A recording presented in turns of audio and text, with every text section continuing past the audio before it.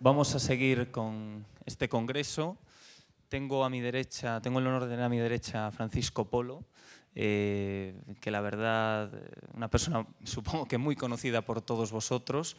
Eh, le comentaba antes de empezar que hay una cosa que me llama poderosamente la, atención de cuando estamos preparando un poco su biografía para presentarlo, es que él se define como un emprendedor social.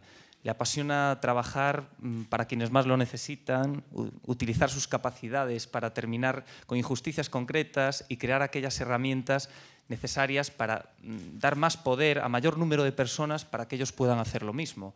Decía que me chocaba porque nosotros, como Diputación, también estamos ahondando y vamos por esa senda. ¿no?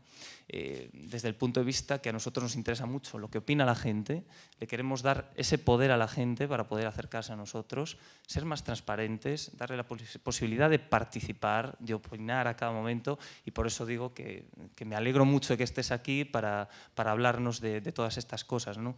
Eh, además, Francisco Polo, aunando su conciencia social, sus conocimientos sobre estrategia online y su capacidad de gestión, fundó Eh, una plataforma para iniciar y ganar campañas de cambio social. Del éxito de Actuable hablan sus cifras. El año y medio al año y medio de su lanzamiento, el 20 de septiembre de 2010, eh, contaba con dos millones y medio de usuarios registrados. Se convertía por entonces en la startup de más rápido crecimiento y en toda una revolución en el activismo. Gracias a ella recibiría el premio de jóvenes emprendedores sociales. En septiembre de 2011, Actuable y Change.org llegaron a un acuerdo para unirse y crear la mayor plataforma de acción social online del mundo. Desde entonces es el director para España de Change.org, desde donde sigue haciendo lo que siempre ha deseado, cambiar literalmente el mundo. ¿no? Un poco lo que quiere hacer esta Diputación esta provincia a través de este Congreso y a través de una apuesta notable por las nuevas tecnologías. Sin más, os dejo con el verdadero protagonista. Gracias, Francisco, por estar hoy aquí y estás en tu casa. Muchas gracias. Muchas gracias a vosotros. Voy a poner por aquí para estar más, cerca. A ver. Bueno, muchísimas gracias eh, a, bueno, todos por, por asistir y y a los organizadores por, por invitarme y a la Diputación de, de Lugo también por, por, traerme hasta aquí para permitirme eh, hablaros. Mirad, eh, yo quería hablar de disrupción positiva y esto es probablemente la mayor herramienta de disrupción masiva que se ha conocido jamás. El acceso a Internet está teniendo un, un efecto transformador sobre todos los elementos del, del cambio social. Está permitiendo que miles de personas alrededor del mundo puedan iniciar campañas sobre los temas que quieren cambiar, desde luchar contra las minas contaminantes a cielo abierto en Galicia hasta terminar con la corrupción en, en, la India. Eso lo que está provocando también es que surjan miles de nuevos movimientos que suman la fuerza suficiente para provocar esos cambios. Y lo más importante es que esos cambios cada vez se están dando a una velocidad mayor. Y eso es lo que eh, nosotros vemos todos los días en, change.org. Change.org eh, es la mayor plataforma de peticiones online del mundo. Eh, tiene ya más de 38 millones de usuarios en todos los países. Tenemos sede en 18 y cada día la gente viene a la plataforma para iniciar campañas de todo tipo sobre los temas que, más les preocupan. Hacerlo es muy sencillo. Lo único que hay que hacer es entrar en change.org, eh, iniciar una petición y decir qué es lo que quieres cambiar, a quién te quieres dirigir y explicar brevemente eh, por qué es importante eh, movilizarse. La cuestión es que esas peticiones están teniendo un impacto tremendo y las peticiones existen gracias a que Internet se ha convertido una, en una herramienta fundamental para, para, el cambio social. Y de eso es lo, de lo que me gustaría hablaros hoy, de cómo Internet está teniendo un impacto completamente disruptivo sobre los elementos clave del cambio social. En primer lugar, sobre el liderazgo, en segundo lugar, sobre las causas y en tercer lugar, sobre la velocidad a la que se producen esos, esos cambios. Voy a empezar con, con el primero de, de los elementos. Mirad, en, el año 2009, en la ciudad de, Ciudad del Cabo, en Sudáfrica, a una mujer eh, la arrastraron a una cabaña donde la violaron y la golpearon hasta casi morir. Y el motivo por el cual eh, sufrió eh, este abuso era porque era lesbiana. Y un hombre heterosexual estaba intentando curarla de su homosexualidad. Esta práctica abominable es un hecho que se producía eh, constantemente varias veces a la, ciudad, a la semana en Ciudad del Cabo y se había convertido en un problema nacional hasta recibir el, nombre de violaciones correctivas.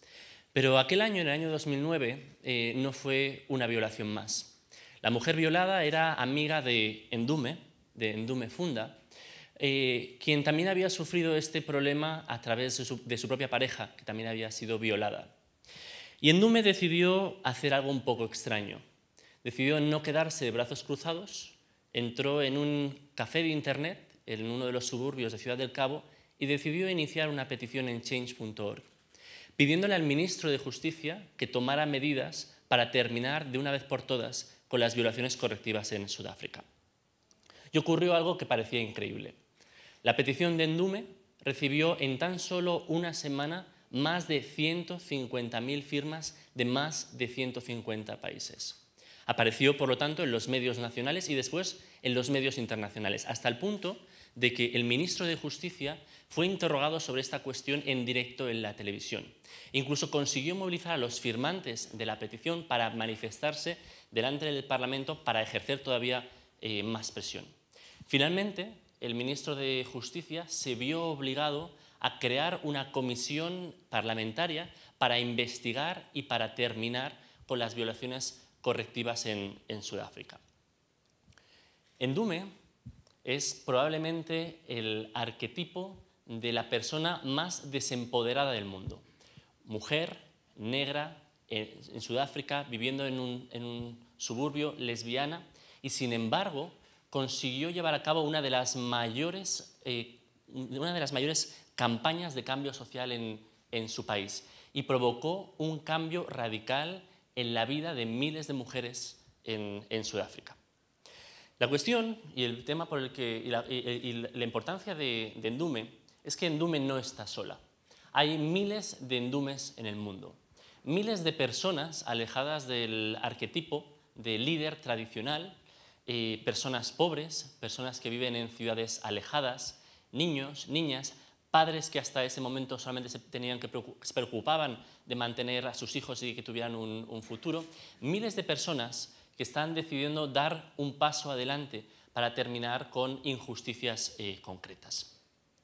Y esto está ocurriendo porque Internet está teniendo un efecto absolutamente disruptivo en el liderazgo, que era el primero de los elementos que os quería eh, hablar hoy aquí.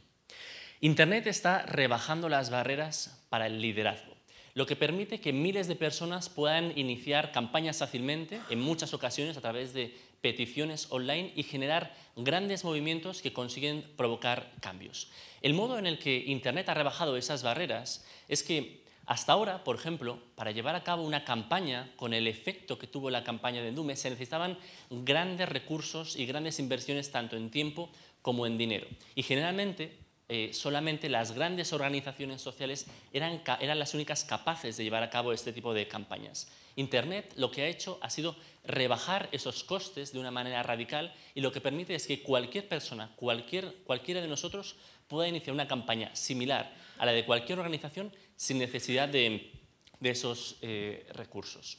Eso lo que está provocando es que miles de personas se acerquen y decidan dar un paso adelante y particularmente en change.org en estos, en últimos cuatro años hemos visto como más de medio millón de personas han iniciado cambios, han iniciado campañas para intentar conseguir cambios como los que ha conseguido eh, Endume en su país. Y es algo que además está ocurriendo en todo, en todo el mundo.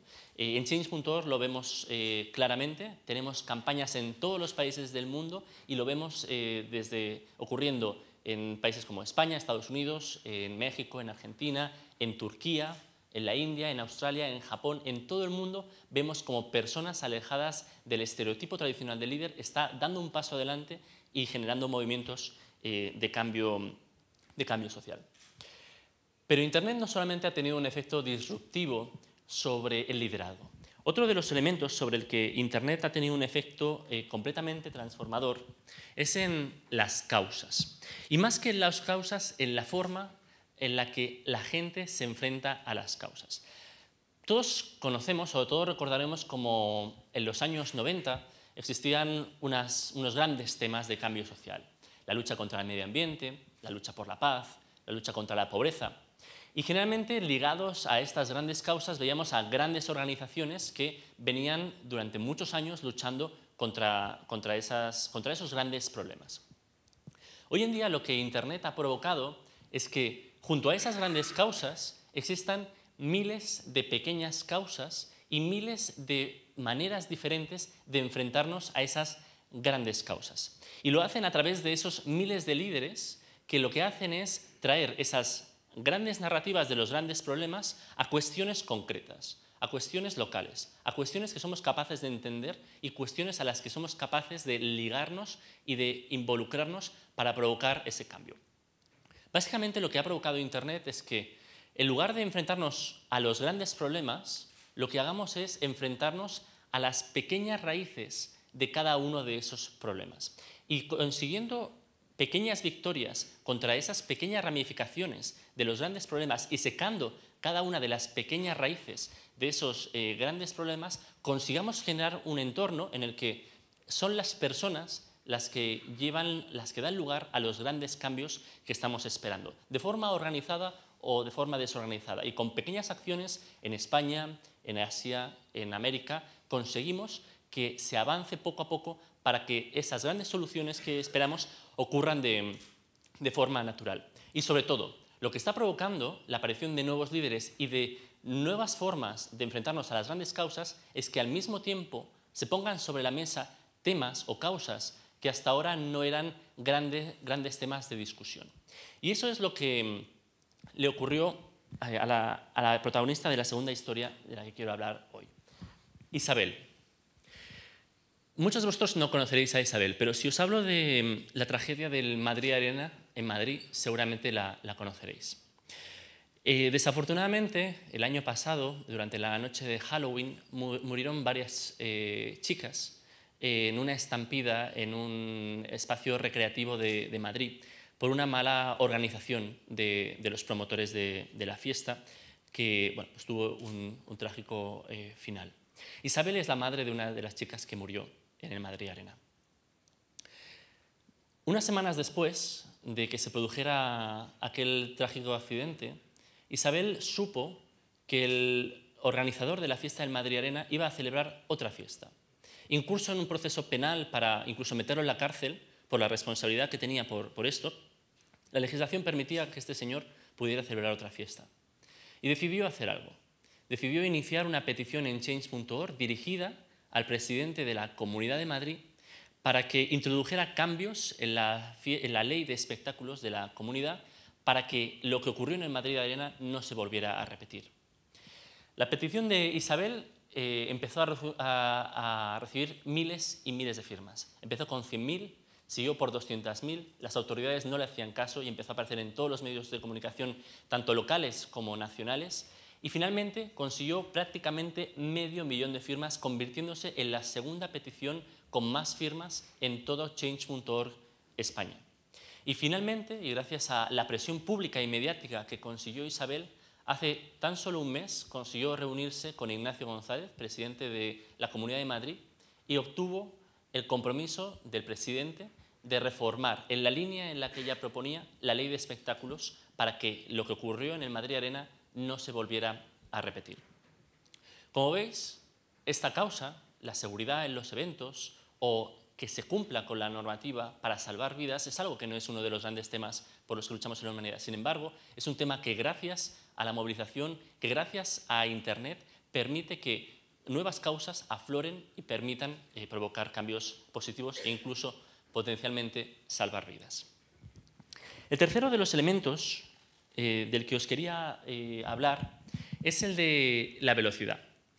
Hemos visto que Internet está permitiendo que miles de personas den pasos adelante para, provocar cambios. Que gracias a que hay miles de nuevas personas, hay miles de nuevas causas y miles de, maneras de enfrentarnos a las causas eh, tradicionales. pero también lo que está provocando Internet es algo eh, también completamente nuevo. Todos sabemos también, o recordamos, como eh, las grandes organizaciones luchaban durante años, incluso a veces durante décadas, para conseguir grandes o pequeños cambios en las legislaciones o en nuestro, o en nuestro entorno. Internet lo que ha provocado es que hoy en día una persona, en cuestión de un minuto, pueda crear una petición online diciendo qué quiere cambiar, a quién se quiere dirigir y por qué es importante movilizarse, permite que en ese momento miles de personas puedan sumarse a su movimiento y en muchas ocasiones lo que vemos es que ese cambio se produce de una forma muy rápida. Es decir, la campaña de Isabel se produjo en tan solo eh, unos, unos meses. Endume consiguió el cambio en tan solo unas semanas. Incluso hemos visto campañas que se han conseguido ganar en un día y eso cada vez ocurre más. Cada vez más personas participan de esas campañas y cada vez más gente ve que es, que es posible cambiar las cosas a través de una movilización súbita a través de, Internet. Que cada vez puede participar de más movimientos que, que, provocan más cambios, que es capaz de oír de cómo otras personas han conseguido cambios en asuntos que no necesariamente le interesaban. Y eso lo que hace es provocar un efecto inspirador sobre las personas y hace que personas que hasta ese momento no se veían capaces o que no se veían eh, llamadas a provocar un cambio, decidan también iniciar campañas a través de Internet, por lo tanto, provocando un círculo eh, virtuoso de cambio social. Es decir, eso lo que provoca es que cada vez más personas se vean involucradas de una u otra manera en los cambios que quieren ver en el mundo.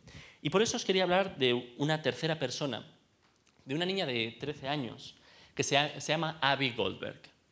Abby eh, vive en, en, que es una pequeña ciudad de 20.000 habitantes eh, cerca a Chicago, en Estados Unidos. Y Abby se hizo famosa en su estado porque estaba en octavo grado. Eh, tenían todos los niños en Estados Unidos tienen que hacer una especie de, proyecto de final de curso. Y Abby decidió hacer un proyecto pues, bastante original y que llamó la atención de los medios de comunicación locales. Decidió iniciar un proyecto para, que se pusiera una tasa sobre las bolsas de plástico en su ciudad y por lo tanto reducir la contaminación y los desechos que provocaban las bolsas de plástico en su, entorno. Como era una historia protagonizada por una niña tan pequeña y con un impacto que podía ser tan relevante en la ciudad, como como os acabo de comentar, apareció en los medios locales. Sin embargo, había alguien en un oscuro despacho viendo también esos medios locales, y era el lobby del plástico en el, estado de Illinois de donde Chicago es la capital. Y el lobby del plástico, viéndose rápidamente amenazado por algo que podía triunfar y que podía viralizarse y ocurría en varias ciudades, decidió irse al Congreso de, Illinois para que rápidamente se aprobara y empezara a tramitarse una legislación a nivel estatal que prohibiera a las ciudades establecer tasas sobre las bolsas de plástico. Cuando Avi se dio cuenta de que eso empezaba a aparecer en las noticias, cuando conoció que se empezaba a tramitar esa ley, Abby recordó que en la televisión había visto a otras personas ganar campañas en change.org, así que decidió transformar su proyecto de final de curso en una petición en change.org. En cuestión de días, su campaña recibió más de 200.000 firmas de, todos los rincones de Estados Unidos. Su historia ya no solamente fue conocida en el estado de Illinois, sino que apareció en la, CNN, en la NBC, en todas las cadenas nacionales de Estados Unidos y se convirtió en una especie de heroína en, Estados Unidos. Finalmente, con la presión ejercida, recibió una llamada del gobernador del estado de Illinois que la felicitaba por su campaña y, le prometió que iba a vetar esa ley. Al mismo tiempo, eh, os cuento esta historia porque Abby decidió dar este paso con tan solo 13 años porque se vio inspirada por otras personas que habían conseguido cambios a través de este tipo de movilización. Pero es que a su vez, AVI provocó un movimiento nacional de niños y niñas en todos los colegios y en muchas ciudades de, Estados Unidos para iniciar trámites para que se aprobaran legislaciones similares en muchas ciudades de, Estados, Unidos.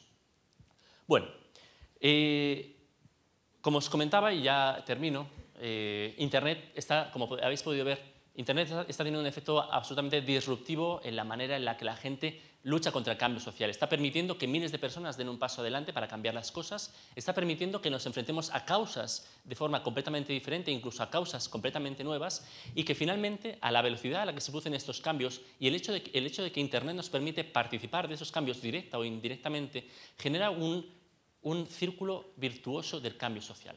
vemos gente iniciando campañas, vemos gente que se suma a las campañas, vemos que ganamos. Y eso lo vemos una y otra vez, una y otra vez. Y eso eh, creemos que va a provocar un cambio cultural en nuestras sociedades y vamos a empezar a ver un espacio, un nuevo mundo en el que vamos a dejar de pensar que el cambio es posible y vamos a empezar a saber que el cambio es perfectamente posible. Y vamos a generar probablemente una sociedad en la que la gente tiene poder para cambiar las cosas y en el que esos cambios forman parte de nuestra vida cotidiana.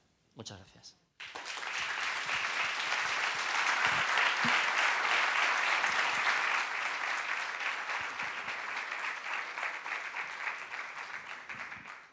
Me dicen que sí, que hay tiempo para preguntas, lo cual me encanta.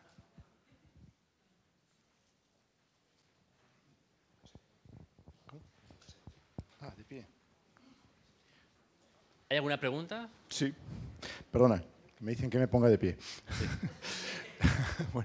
eh, buenos días y enhorabuena por el trabajo que, que, realizáis. La pregunta es muy, muy concreta. Eh, ¿Notáis en algún momento, por ejemplo, en algunas campañas, que la gente participe de una manera frívola? Es decir, que como es tan sencillo decir sí, mm, que pierdan relevancia campañas y si tenéis alguna manera de controlar y de evitar que esto eh, ocurra.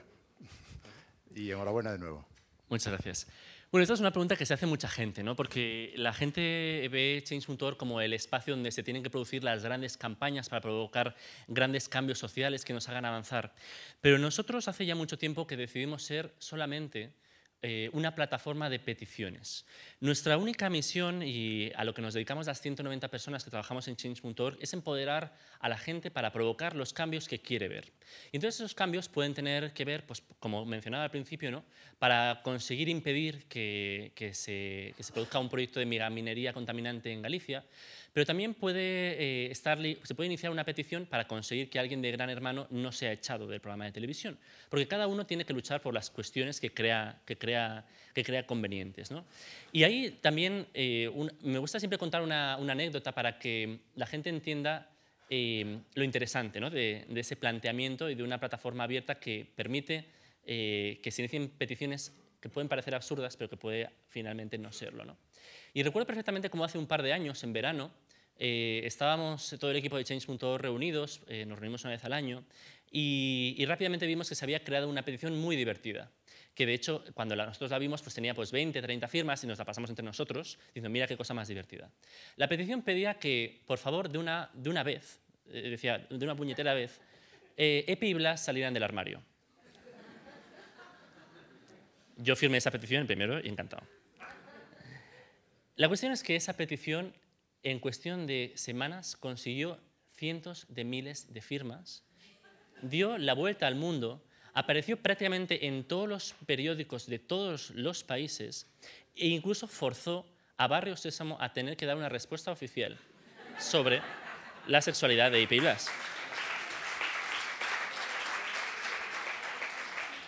Pero para mí, y esto es una apreciación personal, eh, yo creo que la grandeza de esa petición fue que por primera vez hizo que muchas personas se plantearan por qué si en muchos países se está aprobando el matrimonio entre personas del mismo sexo y lo vemos como algo normal, ¿por qué no vemos como algo normal que en dibujos o en programas infantiles esto también sea algo que se trate con total naturalidad y Epi puedan dormir en la misma cama y ser novios o estar casados? ¿no?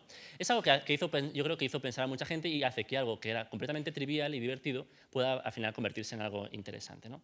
Pero bueno, en cualquier caso, Change.org es una plataforma abierta que permite que cualquier persona inicie una campaña sobre el tema que quiera y entonces nosotros eh, ahí no no, entramos, o sea, no nos preocupamos por eso, aunque sí lo que hacemos, o sea, tenemos un eh, pequeño equipo de campañas y un pequeño equipo de comunicación que lo que intenta es echar un cable a aquellas peticiones que tienen fuertes historias de empoderamiento. Cuando vemos una historia personal muy intensa, con capacidad de provocar un cambio positivo que no solamente beneficia a la persona, sino a un entorno mayor, que puede inspirar a otras personas a provocar cambios, eh, pues entonces en esos casos intentamos también pues, ayudar a mejorar la petición, a poner a esa persona en contacto con los medios de, comunicación, a que entre en contacto con personas que les puede ayudar a hacer un vídeo, etcétera, etcétera. ¿no? Eh, ahí es cuando intentamos pues, eh, fomentar nuestro único punto de, nuestra agenda, que es el empoderar a la gente para provocar los cambios que, quiere ver.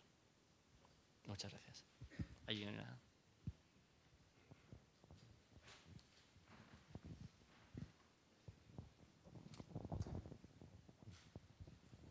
Hola, buenos días. Eh, entendiendo que sois una empresa un poco diferente, me gustaría saber si podría explicar un poco cuál es vuestro modelo de negocio. Y bueno, otra banda también hay una petición que pide el cierre de Change y me gustaría saber qué haríais si, si prospera, vamos. Bueno, la primera, eh, exactamente. Change.org, eh, contrariamente a lo que probablemente muchos habréis percibido, no es una ONG. Somos una empresa social y estamos muy orgullosos de, serlo. Es algo que en España no es muy conocido, pero que en, en Estados Unidos y en los países anglosajones es algo completamente normal. Lo que hacemos nosotros es tener una misión completamente social, como tendría cualquier ONG, y nuestra misión es el empoderar a la gente para que provoque los cambios que quieren ver. Porque tenemos una visión del mundo, queremos llegar a un mundo en el que todo el mundo tenga poder y pueda provocar cambios de forma cotidiana. Lo hacemos de una manera diferente. En lugar de pedirle a la gente que nos dé dinero y, que, digamos, eh, utilizar la buena voluntad, de la gente para sostenernos, nosotros necesitábamos crear una plataforma que escale, que crezca a una velocidad de vértigo, como crece una plataforma de este tipo, y que la podamos sostener económicamente, porque la tecnología eh, cuesta muy caro, y también porque queremos tener gente en todos los países posibles para poder ayudar a la gente, como os comentaba hace justo un momento. entonces, lo que utilizamos son las herramientas, como si fuera eh, una herramienta, la estructura de una empresa para sostenernos. Eso significa que tenemos un modelo de negocio. Ofrecemos un servicio a una parte de nuestros usuarios. Ese modelo de negocio es una especie de publicidad, similar a lo que tiene YouTube. Tú en YouTube tienes vídeos gratuitos, los puedes subir siempre de forma gratuita, pero si tú eres eh, Coca-Cola o si eres Greenpeace, puedes ponerte en contacto con YouTube para que promocionen tu vídeo a cambio de una, tarifa. Eso es lo que hacemos nosotros. Las organizaciones, las empresas sociales o cualquier organización que crea que puede conectar con las personas que están en change.org puede pagar para que su campaña aparezca patrocinada y por lo tanto sea vista por más gente y por lo tanto tenga más probabilidades de que sea firmada por, por otras personas. Eh, junto a eso, ahora hemos eh, desarrollado un nuevo modelo de negocio que estamos empezando a experimentar, que es que incluso ya no solamente sean las organizaciones las que puedan promocionar sus campañas, como Greenpeace o como Intermon, sino que vosotros mismos, cuando veáis, por ejemplo, una campaña que surge en Lugo y que queréis que sea vista por más gente en el Lugo o en todo el país, podáis eh, pagar anuncios para esa campaña, es decir, patrocinar esa campaña, como por ejemplo ahora permite Facebook con tus propias páginas de Facebook, pero en lugar de las tuyas propias, patrocinar las campañas de, los demás. Ese es, el, ese es el, método con el que se financia ahora mismo Change.org. Y, y no tenemos solamente una petición para que cierre Change.org, sino que tenemos eh, muchas. ¿no? Pero esa es la, de nuevo, ¿no?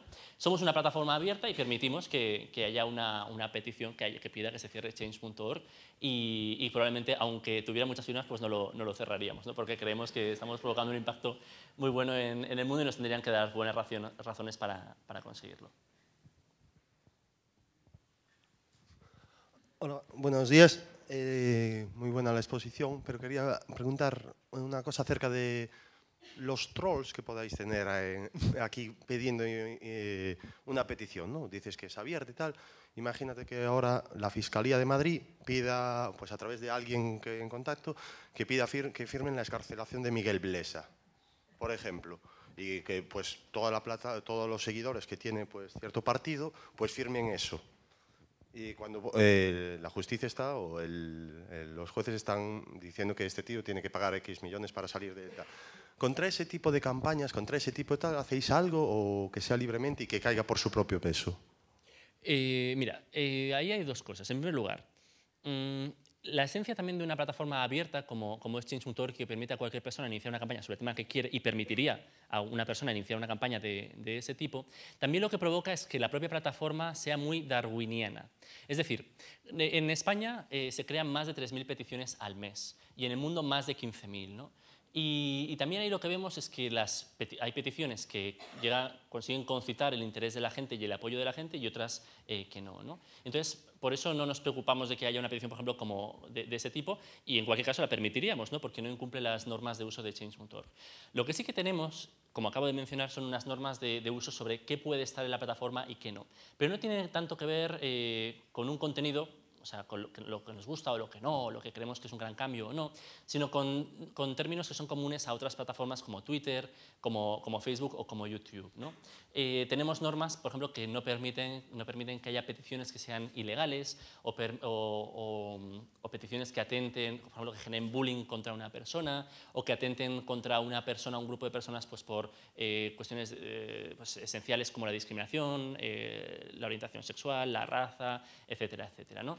Y, por ejemplo, pues, para que veáis una petición que sí que retiramos, de hecho, recientemente, aunque siempre son un puñado al año, no, no creéis que esto ocurre mucho, aunque también es una pregunta recurrente. Por ejemplo, recuerdo que hace unos meses alguien puso una petición pidiendo que se diera un golpe de Estado en España para solucionar este problema que tenemos de la crisis, y entonces eso es algo ilegal y esa petición es retirada pero porque es, eso va contra, contra la ley en, en, España. Pero, de nuevo, somos una plataforma abierta y cualquier persona puede iniciar una petición, incluso, de, incluso como la que tú comentabas. Bien, antes de nada, darte la enhorabuena por la, por la ponencia, porque me parece que abre una ventana a la, a la esperanza y que, bueno, que la gente, que el pueblo llano, podamos eh, realizar cambios. Al mismo tiempo que abre esa, esa ventana a la esperanza, a mí me causa cierto temor que gobiernos de países poderosos como Estados Unidos se, se, haya descubierto recientemente que tienen eh, acceso a servidores de, los grandes, eh, Facebook, Twitter, Apple, etcétera, o sea, todo Silicon Valley. Eh, ¿en, qué, ¿en, qué, grado puede afectar, o pensáis de, desde Change.org, que puede afectarle ese, a esa libertad que a día de hoy existe? O sea, si veis un peligro inminente, porque si se están investigando es que ellos sí que tienen, sienten un cierto miedo a que el pueblo pueda cambiar pues, una ley en la Comunidad de Madrid o otro tipo de cosas. Gracias. Bueno, nosotros, eh, como te podrás imaginar, eh, siendo una plataforma global, nos tomamos la, seguridad eh, muy en serio y, por ejemplo, de hecho, recientemente intentaron hackear nuestro sitio. lo único que consiguieron fue hacer un deface, es decir, consiguieron cambiar dos cosas de, la, portada, pero bueno, nuestras medidas de seguridad permitieron que no, fuera, que no fuera más allá. Pero lo que comentas es una cuestión que no solamente afecta a Change.org, sino al propio, al propio efecto que tiene Internet. Internet es como comentaba ahora mismo, es una herramienta de disrupción masiva que permite empoderar a la gente para conseguir cosas que hasta ahora eran impensables, permite conectar a miles de personas de una forma mucho más rápida y por lo tanto organizarse y provocar cambios, generar la presión pública y presión eh, mediática. Y ahí eh, estamos eh, en la misma situación que cualquier otra, que cual, que cualquier otra plataforma. ¿no? Eh, nosotros por el momento no hemos recibido presiones de, de gobiernos, eh, no hemos recibido ningún tipo de, presión ¿no? para, o para retirar peticiones o para que, para que la gente no se pueda manifestar en ese sentido y de hecho siempre intentaríamos luchar contra eso porque nuestra visión y lo que nosotros queremos conseguir es todo lo contrario, ¿no? que la gente tenga el poder para provocar los, los cambios que quiere ver. Y yo creo que ahí ya no es una cuestión no solamente una responsabilidad de Change.org o de otras plataformas similares, sino de cada uno de nosotros, ¿no? de, de, entender que somos ciudadanos, que tenemos que hacer valer nuestros derechos, que Internet es un espacio de, libertad y de desarrollo de una parte de la ciudadanía que teníamos olvidada, nos habían tratado hasta ahora como consumidores, como usuarios, como votantes cada cuatro años, somos personas, eso implica una, burbuja de cosas 360 grados de, de, nuestra personalidad, de nuestra ciudadanía, y tenemos que empezar a, ejercerlos y luchar para, defenderlos. Y Change.org es una herramienta que estamos intentando diseñar para que permita que cualquiera de nosotros lo pueda hacer, pueda hacer eso de una forma mucho más fácil y con mucho más impacto que otras herramientas como Facebook, Twitter o, o cualquier otra similar. Nada, mi pregunta está un poco ya resuelta porque era si habíais recibido algún tipo de presión por parte de gobiernos y no solo de gobiernos, sino de empresas y megaempresas, como puede ser en el caso de la minería, ¿no? de esa petición de la que hablas, y sobre todo no Change, pero sí que hemos visto que usuarios, está aquí Pablo Herreros, y no sé si va a hablar del tema de Telecinco, ¿no? pero él sí que la recibió por poner esa petición. Entonces era un poco todo eso. Sí, a ver, nosotros no hemos recibido ninguna presión macro de cierre de Change.org, pero en ocasiones sí que hay eh, conflicto con empresas que, por ejemplo, pues piden que se retire una petición, pero nosotros siempre salimos a defender el contenido de la petición, es decir, si podemos mantener una petición, la mantenemos, salvo, como decía, por ejemplo, que una petición tenga un contenido que sea claramente ilegal o claramente injurioso, etcétera, etcétera. Entonces, en esos casos, si la evidencia es clara, pues tenemos que, retirarlas. Y el caso de, Pablo, que no, imagino que les contará, ¿sí? ¿No? No. Bueno, pues... Vale, pues el caso, de, Pablo es eh, paradigmático y también un ejemplo de, cómo hay un mundo viejo que todavía no, ha terminado de morir y que no entiende. Eh, este, este espacio nuevo en el que, nos movemos. Y Pablo no solamente tuvo una de las campañas más exitosas consiguiendo eh, caer, hacer caer a, un programa mmm, líder en la mayor cadena privada de nuestro país, sino que al año siguiente, cuando esta cadena intentó utilizar todo su poder económico y todo su poder mediático, eh, utilizando a medios de comunicación afines también para que contara la historia que ellos querían contar y hacerle daño y conseguir que Pablo desapareciera y sobre todo hacer que otras personas como Pablo se lo pensaran dos veces antes de dar un paso adelante y de enfrentarse al poder económico, en ese momento fue cuando otra persona que también está aquí, que es eh, Mario Tascón, decidió dar un paso adelante, iniciar una nueva campaña, ya no contra los anunciantes del programa de televisión, porque ya no existía, sino contra los anunciantes de toda la cadena, y conseguir movilizar no al mismo número de personas que consiguió movilizar Pablo, sino a cinco veces más el número de personas que movilizó Pablo, y en tan solo tres días. Y eso lo que provocó fue, de nuevo, una presión brutal sobre las marcas que, sin decirlo explícitamente, pero sí que lo sabíamos que estaban actuando por detrás, presionaron intensamente a Telecinco para que retiraran la querella contra Pablo Herreros, cosa que hicieron tan solo una semana después de, de haberse anunciado que, interponían esa, querella contra, contra Pablo. ¿no? Pero precisamente eso es, esa es también una de, la, de las grandezas ¿no? de, de, de Change.org, que permite a la gente eh, movilizarse y decirle claramente a, la, a, las empresas, al poder económico, a las instituciones, a los políticos, qué es lo que queremos y que vean que, que no es algo, eh, que no es solamente una campaña web o, de marketing, sino que hay miles o cientos de miles de personas eh, empujando en ese, en ese sentido. ¿Nada más? Bueno, pues muchísimas gracias.